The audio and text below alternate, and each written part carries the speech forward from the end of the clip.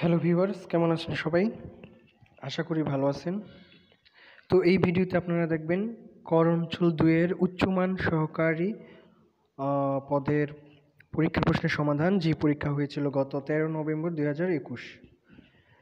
তো প্রশ্নটি আমাকে পাঠিয়েছিলেন দুইজন ভাই ইমেল করে, বিশ্বজিৎ রয় এবং হচ্ছে এনামুল হক। ধন্যবাদ আপনাদেরকে। এই ছিল প্রশ্নটি, আপনারা দেখতে পাচ্ছেন প্রশ্নটি। পূর্ণমান ছিল একশো, সময় ছিল দেড় ঘণ্টা।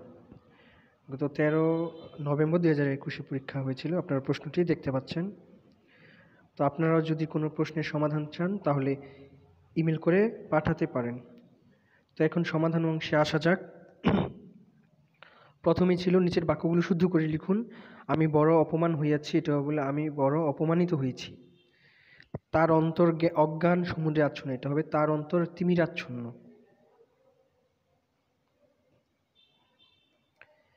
এরপরে হচ্ছে, সর্ববিষয়ে বাহুল্যতা বর্জন করিবে, এটা হবে সর্ববিষয়ে বাহুল্য বর্জন করিবে। তাহার সাংঘাতিক আনন্দ হইল, এটা হবে তাহার অপরিসীম আনন্দ হইল। এরপরে ছিল বঙ্কিমচন্দ্রের ভয়ানক প্রতিভা ছিল, তো এটা হবে বঙ্কিমচন্দ্রের অসাধারণ প্রতিভা ছিল। এরপরে ছিল অর্থসহ বাক্য রচনা করুন, গায়ে ফু দিয়ে বেড়ানো, এটা হচ্ছে কোনো দায়িত্ব গ্রহণ না করা, গায়ে ফু দিয়ে বেড়ানো লোককে কেউ পছন্দ করে না। খেরো খাতা অর্থাৎ বাজে হিসাব, এরকম খেরো খাতা দেখে কিছু বোঝা যাবে না। এরপরে হচ্ছে ঠারে ঠারে অর্থাৎ ইঙ্গিতের সাহায্যে। তো খেলায় ঠারে ঠারে খেললে অনেক সময় জয়ী হওয়া যায়। তারপরে হচ্ছে দেখা যাচ্ছে উজ্জ্বল পাজল এটা হচ্ছে উথাল পাথাল। উজ্জ্বল পাজল করে কাজ করলে তা ভালো হয় না। এরপরে হচ্ছে লোটা কম্বল, এটা হচ্ছে সামান্য সম্বল। মা বাবা হারা ছেলেটির লোটা কম্বলও নেই। এরপর ছিল নিচের প্রশ্নগুলোর উত্তর দিন, তিন নম্বরে, বাংলা উপন্যাসের জনক কাকে বলা হয়? উত্তর বঙ্কিম চট্ট চট্ট, বঙ্কিমচন্দ্র বঙ্কিমচন্দ্র চট্টোপাধ্যায়কে। খ নম্বরে ছিল লাল সাল উপন্যাসের রচয়িতা কে উত্তর সৈয়দ ওয়ালিউল্লাহ।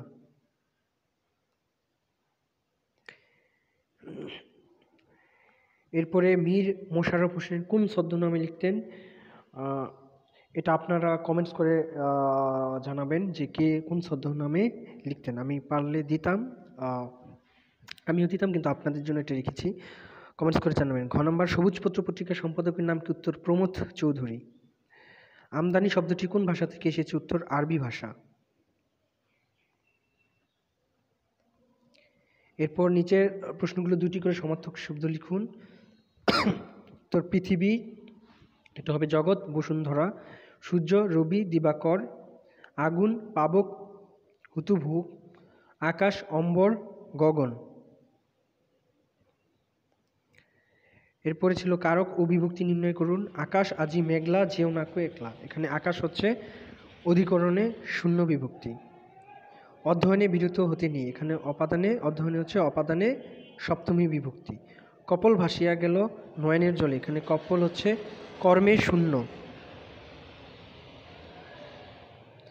এরপরে মাটির যে বড় ভালোবাসি এখানে মাটিরে কর্মে সপ্তমী।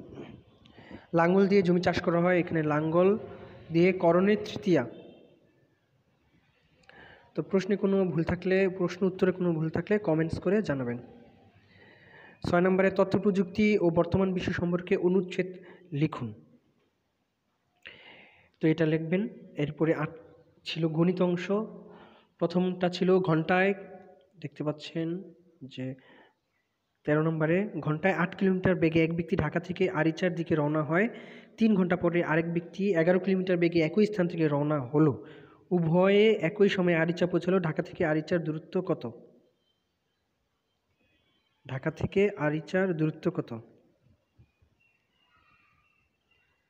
তো ঢাকা থেকে আরিচার দূরত্ব হবে তাদের লসাগু যেটা, তাদের তো এখানে আট ও এর লসাগুই হবে, ঢাকা থেকে আরচি- আরিচার দূরত্ব। তো আট ও এগারোর লসাগু হচ্ছে আটাশি। এটাই হচ্ছে এই প্রশ্নের উত্তর।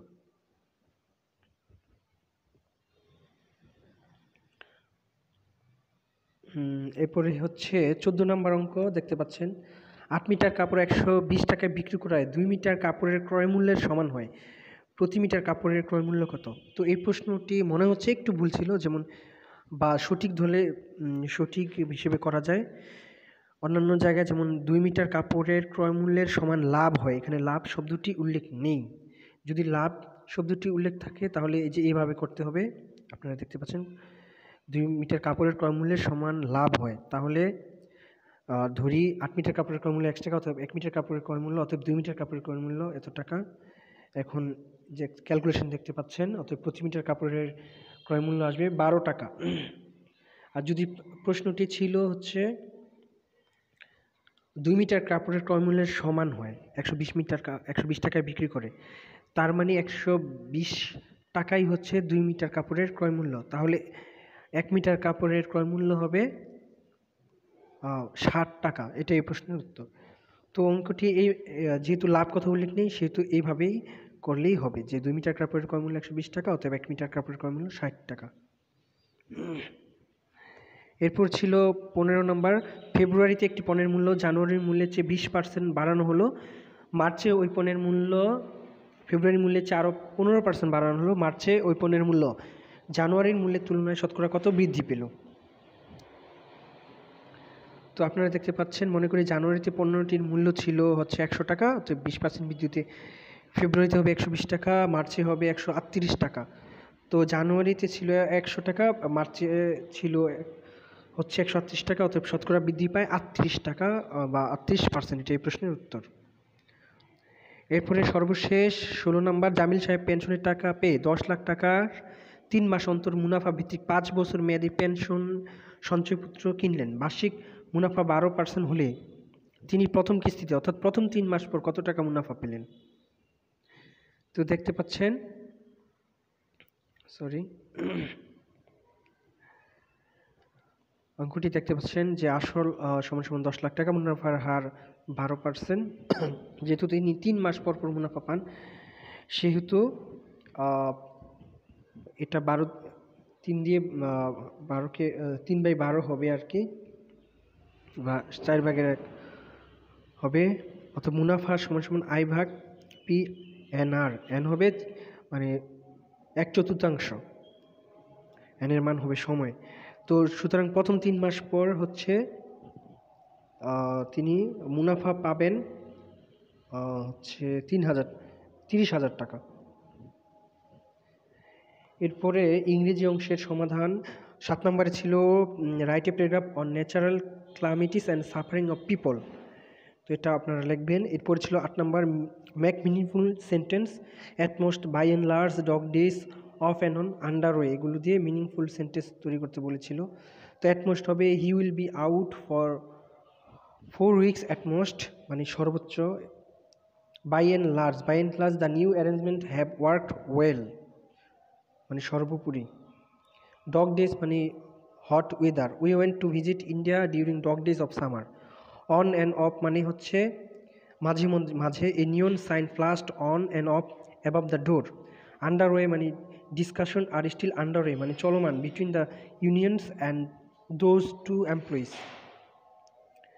এরপরে ছিল রাইট অ্যাপ্রোপ্রিয়েট সিনোনিম একটি করে অ্যাবরিজিনাল এটা হবে নেটিভ বেলিগারেন মানে যুদ্ধ, যুদ্ধরত combatant nostalgic sentimental replicate recreate investigation inquiry তো এরপরে দশ নম্বরে ছিল amplify the idea a lie leaders to another a lie leads to another মানে একটিবার মিথ্যা বলে আরও বলতে হয় তার সাথে, এরকম। এগারো নম্বরে ছিল ট্রান্সলেট ইনটু ইংলিশ তো এই ট্রান্সলেট ইন্টু ইংলিশ প্রথমে লাইন ছিল, প্রথম লাইন ছিল উনিশশো একাত্তর সালে মুক্তিযুদ্ধ সংগ্রামে বাংলাদেশের ছাত্র সমাজ গুরুত্বপূর্ণ ভূমিকা পালন করেছিল। এটা হবে the student society of Bangladesh played an important role in the liberation struggle of nineteen seventy one তাদের ত্যাগ, উদ্দীপনা, বীরত্ব ও সাহসিকতা আমাদের জাতীয় ইতিহাসে এক গুরুত্বপূর্ণ অধ্যায় সৃষ্টি করেছে। এটা হবে the sacrifice enthusiasm heroism and bravery have created an important chapter in our national history এরপর হবে তারা মাতৃভাষা, গণতন্ত্র ও স্বদেশের জন্য তাদের তেজদীপ্ত জীবন উৎসর্গ করার ইতিহাস সৃষ্টি করেছে। তবে they have created a tradition of sacrificing their vibrant lives for their mother tongue democracy and homeland তো এরপরে হবে বারো নম্বর ছিল put the correct form verb দেখতে পাচ্ছেন। We why are prevented has the place to live তো এখানে আমি একবার করেছি। We were prevented from living the place R he fail to এর আগে সলভ এর আগে টু হবে। Solve to solve the problem I am sorry ব্রেকেটে shout ছিল, এটা হবে for shouting at you yesterday